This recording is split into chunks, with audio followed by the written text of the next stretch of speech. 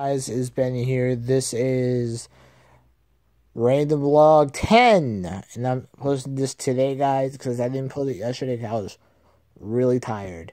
Um, out. So, um, you haven't saw my knee.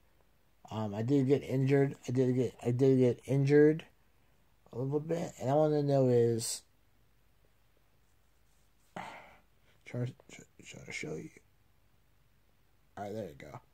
So that's how I got hurt. I got hurt, got a little embarrassed. That was a little bit embarrassing, but um, my girlfriend and my friend actually helped me out with that. So I, I thank them very much. But anyways, I want to know is, did you ever get hurt? Did you ever get hurt? What did you ever get hurt when you were injured in a sport? So comment down below if, it's out of a sport and you fell on your knee like I did, this is actually my first time. I don't know if I ever did it ever before.